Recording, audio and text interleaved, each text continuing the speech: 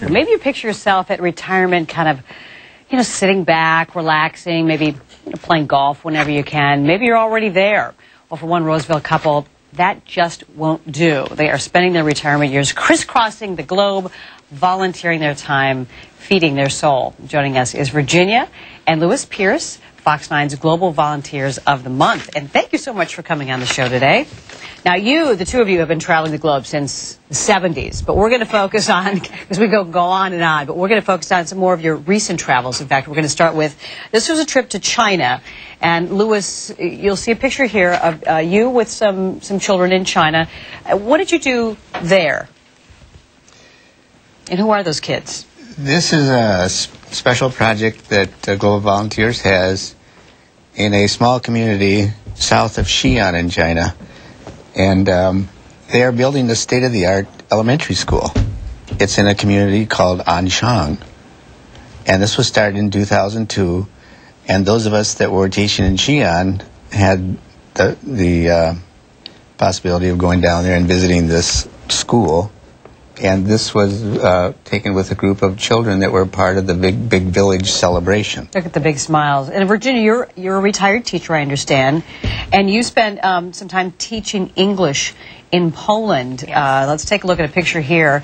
And what was it like teaching? It was conversational English. Yes, they all students. have studied English, you know, in school for years. But in many countries, they don't have the opportunity to practice speaking it, and they're afraid to try it, and so forth. So the purpose of the program is to give them as many opportunities as possible to use their English.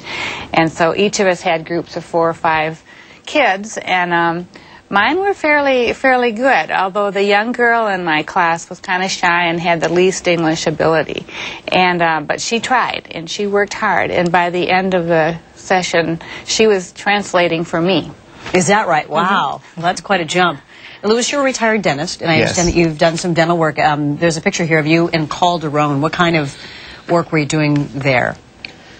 Well, in Calderon, I was doing uh, dental work on preschool and elementary school kids. Um, Global Volunteers, again, is invited into this country to do uh, different kinds of uh, work, um, and this is in a low income area. And uh, I'm guessing a lot of the kids do not have access to dental They don't care. have access to dental care, and it was very highly organized. Uh, we were invited in by the host country uh, representative, the organization is called the Women of Calderon. And Calderon is a community just outside of Quito, Ecuador. Ecuador, right.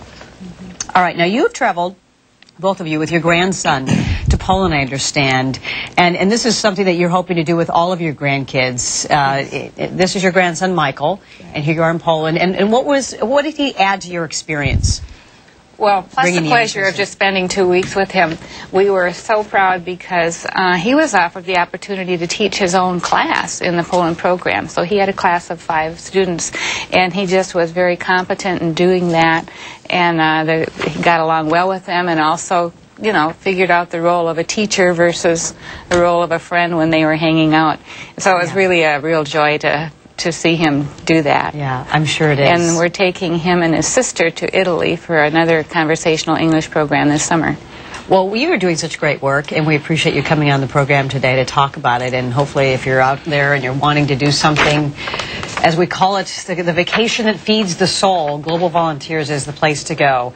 Uh, Louis and Virginia Pierce, thank you so much for coming on the show today. And if you are interested in becoming a global volunteer, you can log on to globalvolunteers.org or you can visit our website at fox9.com.